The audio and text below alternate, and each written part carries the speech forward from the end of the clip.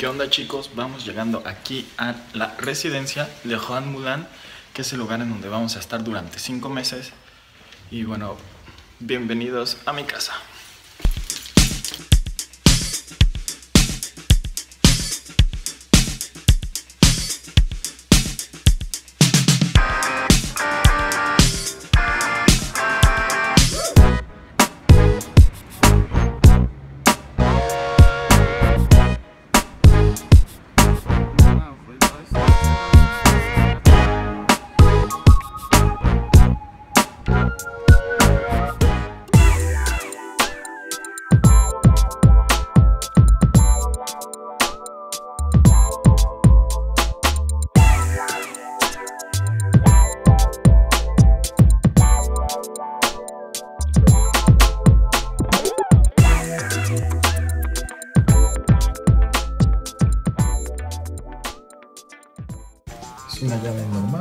Cualquiera.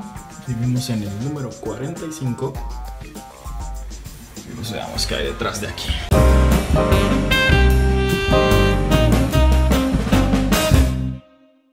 Como podrán ver, no es muy grande, pero es bastante acogedor. Aquí tenemos, bueno, mi maleta de viaje, mi cámara con un hermoso regalo que me hizo mi novia.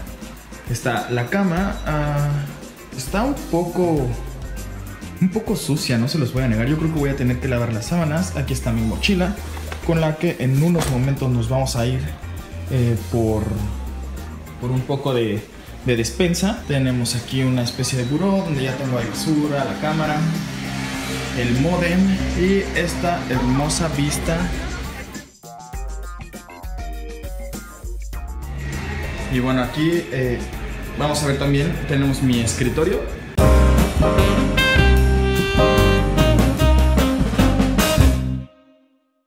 De toda esta basura. en el escritorio ya está conectado al modem, aunque todavía no tengo internet. Ajá, también tenemos aquí un encendedor que dice I love hers. Ya saben, en el aeropuerto, en vez de tener las cosas en francés, las tenían en inglés. Cómo conseguir eh, habilitar el internet. Estos son boletos. Son los boletos del metro, del bus. Y son extremadamente caros. Tienen un costo de alrededor mm, de 2 euros, que son como 42 pesos mexicanos. Y solamente sirven para moverte de un lado a, otro dentro de una estación. Inclusive hay estaciones en las que tienes que pagar doble. O a mí, por ejemplo, ya varias veces que me equivoco de lado porque aún no me acostumbro a moverme en esta ciudad y entonces ya, o sea, se pierde muy fácil el dinero, entonces tienen que saber bien a dónde van, en dónde están para poder aprovechar. Otra de las alternativas que me han estado contando que puede ser que pueda utilizar es la de conseguir una bicicleta. Ahí tenemos un mueble, eh, las luces, justo aquí arriba eh, ese foco no estaba, tuve que comprar focos para cambiarlo y a mí me da miedo cambiar luz, pero fíjense que aquí todo está muy fácil de encontrar porque de este lado tenemos el switch. Entonces no fue complicado, solo bajé todos y listo. Ahora vamos a la parte de la cocina.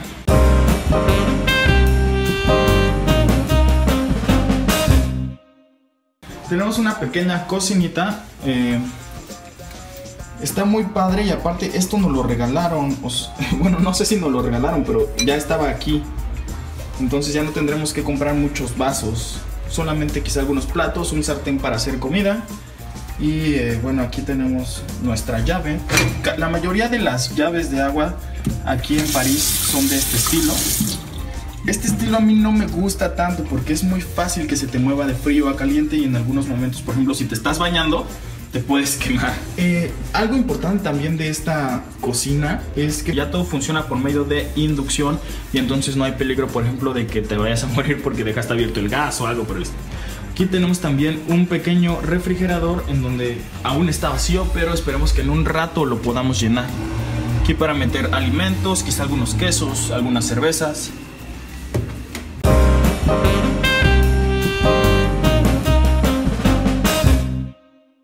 Justo a un lado de la cocina tenemos el baño. y es un baño completo. Tenemos ahí una taza, es una taza normal, eh, un lavabo, un espejo. Aquí tenemos el espejo y de este lado, eh, pues ya ven, una, una regadera. Como les dije, esta especie de llaves. Ya tengo ahí jabón. Eh, pero todavía nos hace falta muchísimas cosas que ahorita vamos a ir a buscar.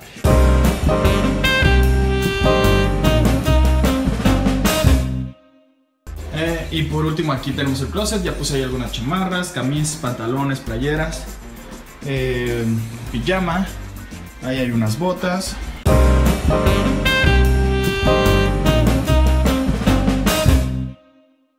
Entonces espero que les haya gustado. Cabe destacar esto, este lugar en el que estoy es una residencia universitaria.